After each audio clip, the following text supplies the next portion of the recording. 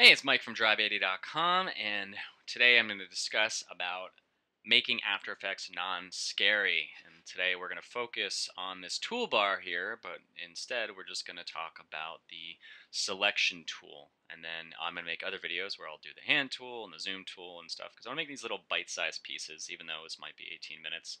It'll take me about 30 to an hour to do the whole thing. Uh, what we're going to do is start off, we're going to have to make sure your project panel is open, and we're going to hit this little icon here to create a new composition if we want to cheat, but if not, we want to do this the professional fast way. If we're working on Mac, we're going to hit Command N, Control N for PC. We're going to make a new comp with 1920, height 1080, square pixel. I never touched this, so you can if you'd like to, but I don't know what's going to happen. Frame rate 24. If you want to speed it up, you can make 30 or 60. I recommend 24 to 30, so I'll stay with 24. This is fine. Background color, have this nice blue color. Perfect, there it is. And to do anything with the select tool, um, one thing, obviously, is you can, it'll automatically be the select tool if I'm over panels, which is great because then I can select these panels, which you see is happening as they're being highlighted by this After Effects yellow. Again, this is an older version of After Effects, but the newer versions of it still, the same rules still apply until one day I get the new copy, even though I can't stand Creative Cloud at the moment for After Effects. Anyway, select tool. There it is. If I'm on the, the, uh, in the composition right now, can't really do anything with it. I can draw some boxes, and if I have a bunch of things on here, then I can select them, which I'll show you in a second. Um, so I am gonna just kind of give probably brush over a couple of these unknowingly, especially because I need to get this rectangle tool to draw. But um, I'll go into the more things more in depth in other videos. So let's get let's get a square on the stage. Hit Q as in Qbert. Hopefully you know the reference, depending on when you were born. I'm going to hit Y for the pan behind tool up here. So again, these are some things I'm going to do.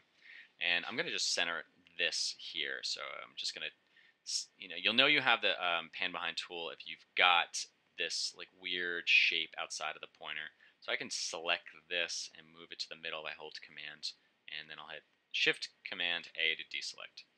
To get, now let's say I still had the Y tool, I would hit V as in Victor to get the select tool.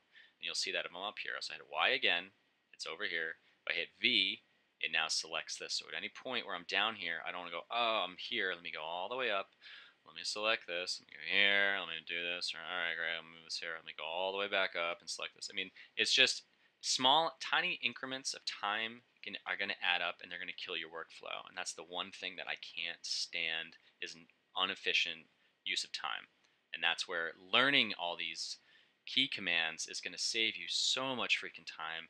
And then later on, we can talk about scripts, which I've downloaded a ton here, which also save you time, but we're not going to go over that. Select tool, great, get it. Now if I hit V as in Victor, and now I can select this box and move it around, and that's become very helpful when I'm animating.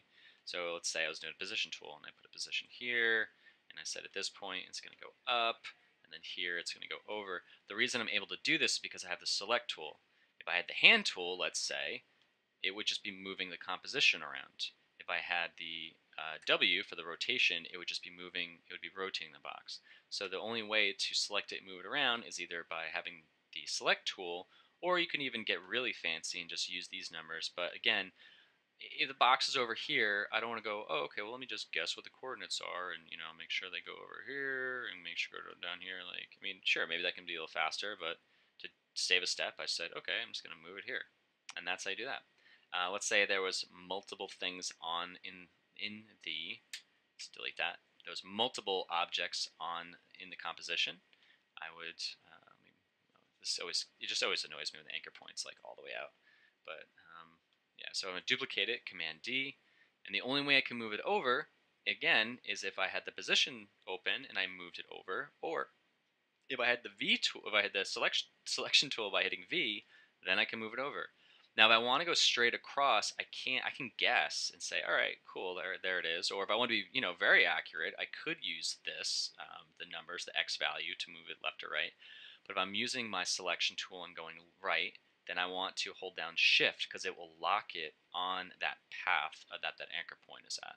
And I'll move it over here. Again, it would do the same thing if I was going up.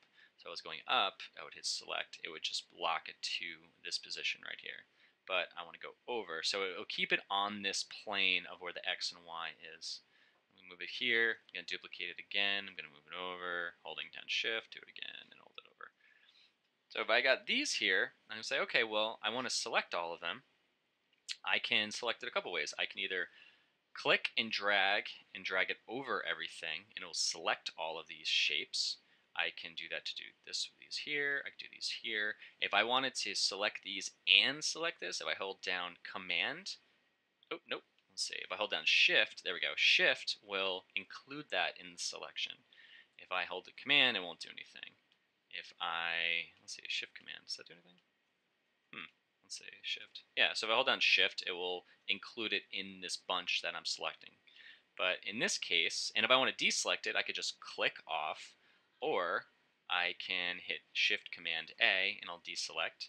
On that note, if I hit Command A, it'll select everything that's on here, which is great for this because I've got four things on, on in the composition. But if I was working with a hundred things here, that wouldn't be very efficient.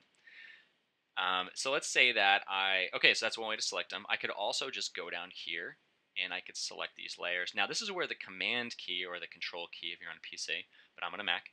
If I was like, I want to get shape layer 4 and shape layer 2, and I click on 2 without holding anything, okay, that's not working. But if I hold command and hit 2, it'll, it'll skip over 3 and select this. However, let me deselect that. Actually, if I was deselect that, it'd be shift command A. If I wanted to get 4 through two, 3 and 2, I'd click on 2 and hold shift down, and it would fill in the gaps of every single thing that's a that's in between the two of these. And I could also keep going and hold down shift for the 1, or I could have hold down command for the 1. If I want to deselect 3 at this point, I can hold down command and then select that, and I'll deselect that one. Again, I could also do this on here. All right, so the next thing I want to do is, all right, I want to evenly space all of these to where the space in here is all equal. But let's say we scatter these around. Like, all right, well, I want it all to be equal in the spacing in between. I want to be equal um, across the board. To do that, I can select all of them, or I can hit Command A. And now I have to find my Align tool. Just take a second for the effects. There we go, pass by effects. The Align panel is great. If you don't know where it is, go to Window and Align, and it'll show up somewhere. Your, your interface might be slightly different than mine. But I can align it to a selection or the composition. Now the composition means that it will left align, you know, horizontal center, right align horizontally, vertical top align, vertical center align, and vertical bottom align. These I rarely use um, to distribute, but we can go over them in a second. But let's say that I wanted to move all of these to the left, I would hit this. And if I hit Command Z, because I want to go all the way to the actual composition, I'd hit Selection, hit Composition, and go all the way to the left. I can go all the way to the right. I could go all the way to the bottom, I go all the way to the top. And as I'm doing this, though, now it's kind of combining them, so it's not going to look the same if I go all left. Um, if I wanted to kind of cheat a little, not cheat, but if I wanted to make them all evenly spaced across here, I would pick the one that's, you know, what I would see as like the end one. You see, just one. There we go. Let's see how this works. So I'd move this one, I'd top align it, and I'd right align it, and then I would select all of these, and I would hit, oh yeah, actually, I guess I do use this one. And I would hit that. Now it's evenly spaced, and it's evenly spaced. So in this sense, I've kind of gone over the align tool, which I'll probably go more in depth in another tutorial, which you got a little bit of a bonus on that. But that is the use of the select tool. And if I want to delete something, I could select it here and then hit delete, or I could select it here and hit delete. And that's it. Uh, if you have any other questions, let me know in the comments. And that is it. So thank you, and please feel free to share this with anyone. You can also email me directly at mike at drive80.com, which you can see here on the screen. And um, yeah, I'm always down to answer any questions and help out where I can. Thank you.